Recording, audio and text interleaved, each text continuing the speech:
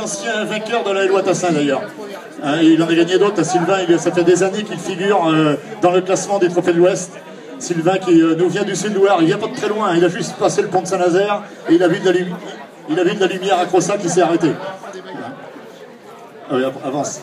Alors Sylvain, euh, ah oui, qui court également, vous avez vu que beaucoup de concurrents qui sont devant nous courent pour le, team Spondylarthrite et donc euh, Sylvain en fait partie de ce team qui aussi défend une double cause. Ici à Crossac c'est la maladie de Crohn, ailleurs c'est vaincre la mucoviscidose, euh, ailleurs c'est euh, souffler d'espoir, et vous c'est le team Spondyarthrite. Tu peux nous en dire deux mots?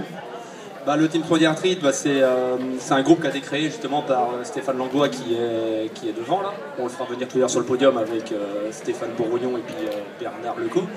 Et c'est lui qui a créé cette, cette association, parce que lui est atteint de la spondylarthrite. Et donc il a créé un petit groupe de coureurs de 5-6. Et après, il y a d'autres personnes qui se sont greffées dessus. Et on essaye de montrer le maillot euh, le plus souvent possible sur des cycles sportifs et à l'entraînement. Et bon, je vois qu'aujourd'hui, ça a porté ses fruits. Parce que euh, moi, j'ai gagné dans ma catégorie d'âge. Normalement, Stéphane, euh, je pense qu'il a gagné aussi.